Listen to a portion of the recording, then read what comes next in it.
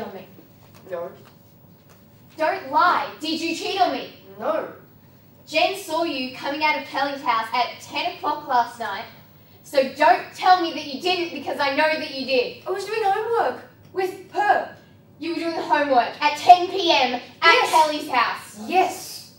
That is the most bullshit excuse I've ever heard. Well, uh, what have you heard that it's actually not an excuse? What kind of person goes to someone's house at 10 p.m. Someone just that to do has a homework and night nothing job. else? Someone that has like a night job, huh? That's And- pathetic. That is pathetic. You What do didn't you use mean your it's job as pathetic? An Are you saying excuse my ever since is we started going out. And everyone knows that you've had a thing with Kelly for three years. No, no, no, no. Everyone says it. Everyone knows. well, that everyone's not me, is it? And Just- you should trust me. You should Why trust me. should I trust you? you, You when should trust you, me. you were at her house? You should trust me and not Yell everyone else, other. like your friends. What? Louder. You louder. Yell at each other. You should just trust me. You, it sounds like you trust your best friend rather than me. Why wouldn't I trust my best friend over you? She's been my best friend for years. And I've been God your knows how many boyfriend for a doubts. I have about you. Oh, okay. So we're gonna play it that way, are we? Yes, we are.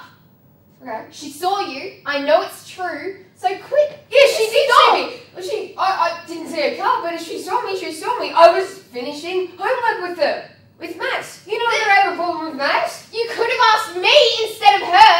Well, you I could have asked tried. anyone I tried. instead of her, but you had to ask the person that everyone thinks you have something going on with. They think I have something going on with. That doesn't mean it's not true. Can't you just hear all the I, words that you're don't saying? talk to me.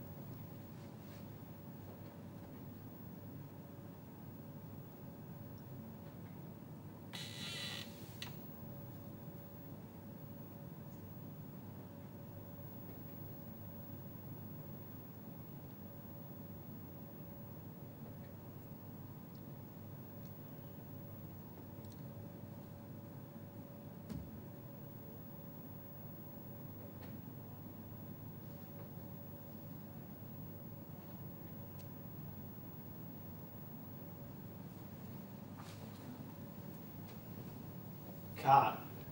Good work. We're going to put something in it though. We're going to give. Can we have your mobile?